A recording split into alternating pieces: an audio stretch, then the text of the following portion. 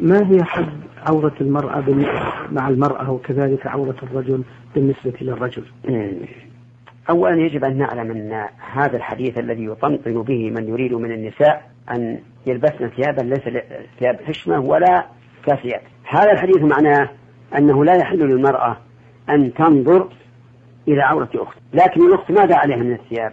يجب أن يكون عليها ثياب ساترة حتى لا تدخل في الحديث الصحيح. صنفان من أهل النار لم أرهما. قوم معهم سياط كأذناب البقر يضربون بها الناس ونساء كاسيات عاريات مميلات مائلات لا يدخلن الجنة ولا يجدن ريحها قال أهل العلم كاسيات عاريات يعني عليها كسوة لكنها خفيفة لا تس أو عليها كسوة لكنها قصيرة أو عليها كسوة لكنها ضيقة. فعورة المرأة مع المرأة كعورة الرجل مع الرجل هذا المعروف عند أهل العلم. فلا يحل للمرأة أن تنظر من المرأة الأخرى ما بين السرة والركب. لكن على الثانية المنظورة أن تلبس الثياب التي يشرع لها لبسها وهي الثياب الساترة لأن ترك النساء يستعملن من الثياب ما شئنا ويقولن إن عورة المرأة مع المرأة كعورة الرجل مع الرجل غير صحيح. نعم. أحسن الله إليك شيخ.